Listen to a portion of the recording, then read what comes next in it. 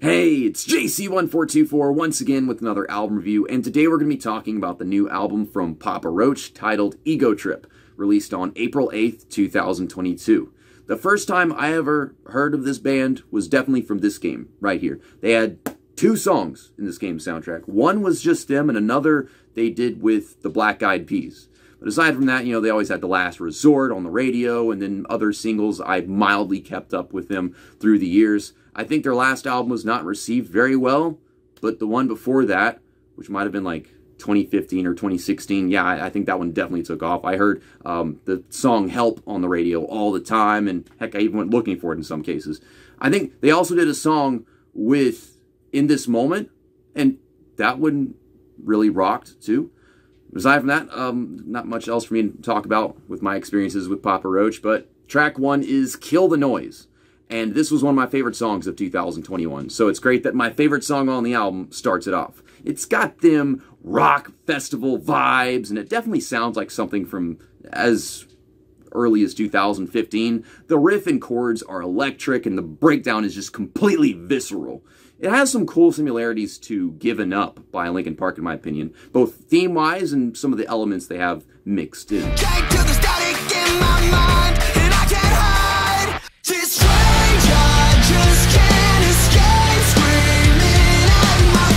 Track two is Stand Up, and I wouldn't call this a bad song, just wacky, I guess. The verses throw off the album's pacing by having this nutty mood and a spunky carryout. It's supposed to be about getting mentally in the right place to be rebellious within society. You can even hear it, you can feel it within that chorus, but I just wouldn't say it comes together smoothly up until that point. Sweat, sweat, stand up, stand up. Sometimes I feel like letting go, cause it's The third song on this album is Swerve, featuring Fever 333 and Suko, Sueko. I don't know, it doesn't matter. Honestly, it just seems like they went out of their way to make the worst sounds possible. It's like a dog shit combo of Thrift Shop, Corpse Husband, and Tekashi 69. I wouldn't say I agree with the song style until the outro begins, because by that point it's simple enough that I can pick out all the different things that they're going for, at the very least. But it's just blatant, incoherent noise up until then. And it's a musical embodiment of the whimsical album cover. So there's that.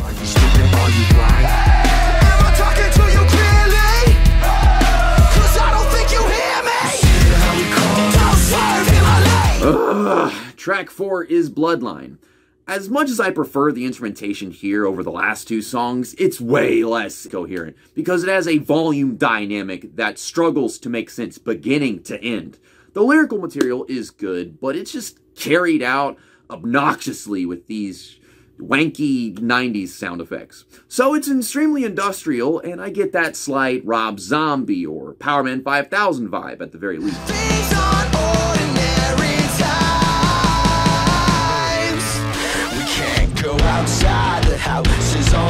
Okay, the fifth song on this album is Liar, and it's written about being haunted by your own regrets and everything misleading you might have done up until this point. Now, Kayla's been in my life very, very long time. I know that. But this just oozes Panic at the Disco and or Descendents sound-wise. It does continue using an assortment of party music elements, but the bounce of the tempo is simple and the hook is just glamorous. There's a good wolf and a bad wolf, but they both tied up. Gotta starve one, gotta feed one for it all blows up.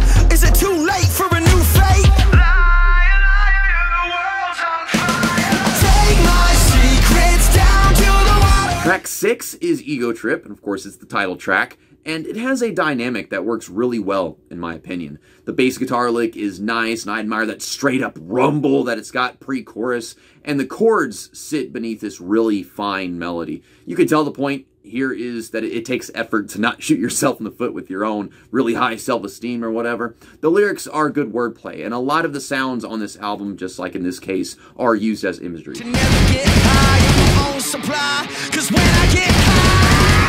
I'm on an ego trip. I'm on an ego trip. Track 7 is Unglued, and good God, this song is just totally stellar, dog. It resonates in such glorious fashion. It's like a nu metal waltz, and then the post chorus comes in and just slaps. You've got a unique harp to lead in everything, and then this this sick, distorted, and then panned guitar during the bridge. Oh, I'm just infatuated with it. And it has this theme that we lie to ourselves, and that inherently doesn't hold a bond together well.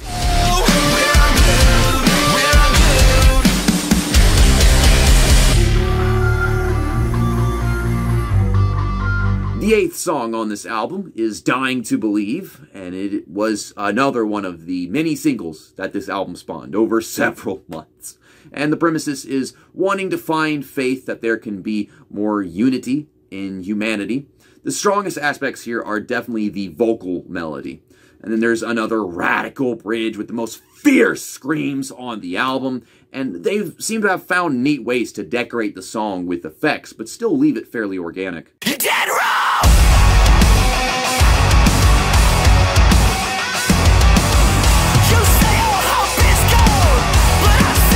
Track 9 is Killing Time, and it's very balanced in comparison to the, the whack job that Falling in Reverse tried. This does sound like a, a modern day Hybrid Theory thing, sound wise, my opinion. Everything starts so simple and then just gets loaded with cool percussion, bass, and, and keyboard shit. All the while, it's circling around the concept of being almost at peace, but just never quite there.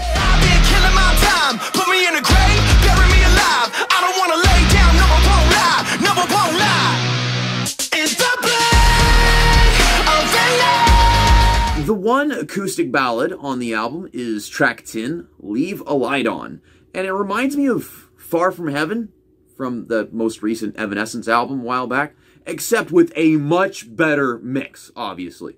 Although the writing loses me being cliche here and there, the orchestration is spot on, and the vocals are perfectly crisp. Miles apart within my reach.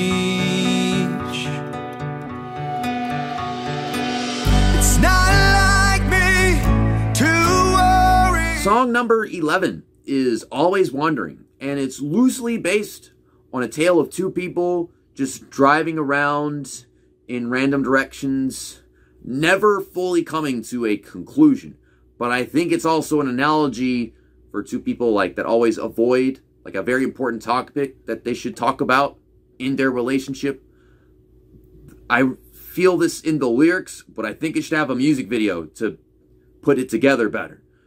But this is not single material, so I don't know. But it sounds like both Christian rock and Blink 182 at the same time. But it, it's a fine song. Um, if those killer chords never came in, then I'd have lost all hope for this one. But then, in the second verse, the bass gets all boopy. And I guess I like it.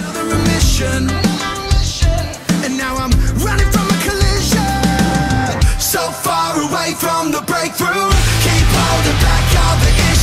Track 12 is No Apologies. And I'm not sure why, but the past couple of songs have felt pop punkish. But maybe that's just me. But this one's just wholesome, to sum it up. It's about being with someone who's been through a lot. And it was already a solid jam. And then they put that flanger on the guitar in the bridge, and it got me all dazed. Oh my goodness. And the guitar tone in general is delicious on this song, like Chevelle. And the drums kick ass on this one too. That's something I haven't talked about enough in this video can turn it all around. If you don't turn your back on me, we can turn it all around. Cut the Line is another one of the singles, and it's track 13 on this album. A fantastic performance from the whole band. The movements here are just immaculate, and we've only gotten aggression like this in a handful of tracks, to be honest. But the melody gets a tad redundant here, if you ask me. And this is either a song about fish or a song about a messy headspace. Maybe both. I don't know. I give up. Cut the line!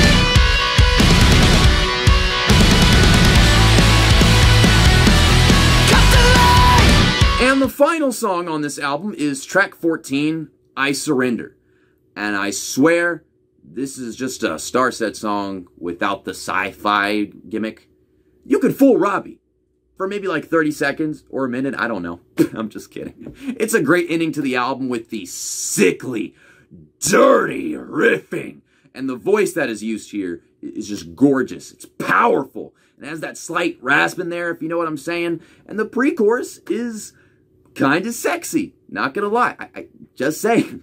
And it, it is a relaxing closure to the song and the album in general with the outro that this one has. But my final score for the new album by Papa Roach titled Ego Trip is an 88%, which is a, a solid B.